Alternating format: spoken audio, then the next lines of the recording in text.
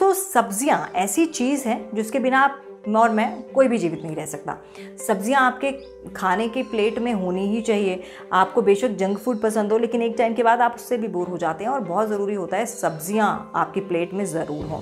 और यही वजह है कि जब लॉकडाउन भी हुआ तो एसेंशियल्स में सब्ज़ियाँ तो आनी ही थी तो ये दुकानें कभी भी बंद नहीं हुई। और जो लोग दूसरा कारोबार करते थे, उन्होंने भी ये सब्जियों का बिज़नेस करना शुरू कर दिया, क्योंकि उन्हें भी पता चल गया था कि ये बिज़नेस तो बंद नहीं होगा और इस वक्त कोई और बिज़नेस चले ना चले, लेकिन हाँ सब्जियों का बिज़नेस ज़रूर चलेगा। तो आज हम आपको सब्जियों के बिज़नेस के बारे में बताएँगे। उसके लिए आप हमारे वीडियो को अंत तक देखिएगा। वीडियो पसंद आए तो लाइक कीजिए सब्सक्राइब कीजिए हमारा चैनल और हाँ बेल आइकन का बटन ज़रूर दबाइएगा ताकि आपको लेटेस्ट नोटिफिकेशन मिलती रहे हमारे वीडियोज़ को लेकर। तो चलिए, आज बात करते हैं कि किस तरह से सब्जियों का बिज़नेस आप शुरू कर सकते हैं। सब्ज़ी व्यवसाय शुरू करने से पहले ये बहुत ज़रूरी है कि आप ये सोच लें कि आपको अपना व्यवसाय किस स्तर पर शुरू करना है। आज हम बात करेंगे कि कैसे आप सब्ज़ी व्यवसाय को छोटे स्तर पर शुरू कर सकते हैं। सब्ज़ी व्यवसाय शुरू करने के लिए ज़रूरी योग्यता। ये एक ऐसा व्यवसाय है जो कोई भी कर सकता है, इसके लिए आपका पढ़ा लिखा होना ज़रूरी नहीं है। इस व्यवसाय का कम या ज़्यादा शिक्षित होने से कोई मतलब नहीं है। चाहे आप कितने भी पढ़े हैं, तब भी आप ये व्यवसाय कर सकते हैं। सब्ज़ी व्यवसाय के लिए कुछ ज़रूरी कार्य। अपने व्यवसाय को शुरू कहाँ करना है? मतलब जगह सुनिश्चित करें। एक बार जगह चुन लें तो कुछ कुछ ज़रूरी बातों का ध्यान दें। एक बार में सब्ज़ियाँ कितनी खरीदनी चाहिए? एक दिन में अधिक से अधिक कितनी सब्ज़ी बेची जा सकती है? कितने दिनों में कौन सी सब्ज़ी खराब हो जाती है? कौन सी सब्ज़ी किस जगह पर अधिक बेची जा सकती है? सब्ज़ी के व्यापार में कितना मुनाफा किया जा सकता है?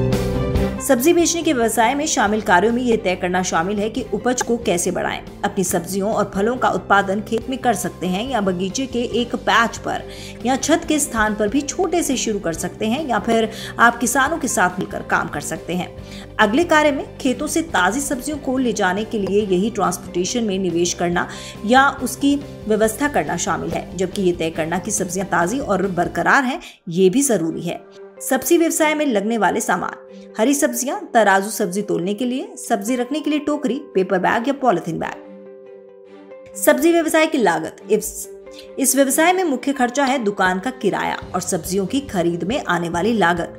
सब्जियों का व्यापार शुरू करने के लिए दस हज़ार तक निवेश करना पड़ सकता है। ये पूरी तरह आप पर है कि आप कितना निवेश कर सकते हैं। आप शुरुआत में कम सब्ज़ियाँ खरीद कर उन्हें बेच सकते हैं और फिर उससे हुई कमाई से नई सब्ज़ियाँ खरीद सकते हैं। अगर आप सब्ज़ी मंडी में सब्ज़ी बेच रहे हैं तो दुकान का किराया भी देना होगा। मुनाफा कितना होगा?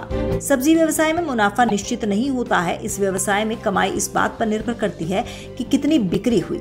जितनी ज़्यादा बिक्री, उतना ज़्यादा मुनाफा। इस व्यवसाय में जितना जल्दी और जितनी ज़्यादा बिक्री होगी, उतनी आमदनी ज़्यादा है।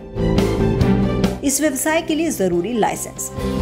आज के समय में सभी व्यवसाय को रजिस्टर करना बहुत ज़रूरी है। यदि आप शुरुआत में अपने व्यवसाय और दुकान को रजिस्टर नहीं करना चाहते तो कोई परेशानी नहीं, लेकिन जैसे जैसे आपका सब्ज़ी का व्यापार बढ़ता जाएगा, उसके बाद आपको अपने व्यापार का पंजीकरण कराना पड़ेगा।